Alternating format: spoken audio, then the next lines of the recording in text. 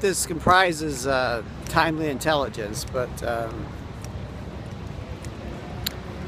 I don't know if I could tell you here. It's not safe.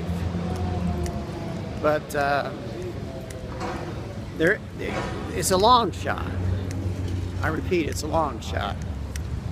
And so, uh, you know, just just be aware that uh, someone's uh, eyes are on the prize.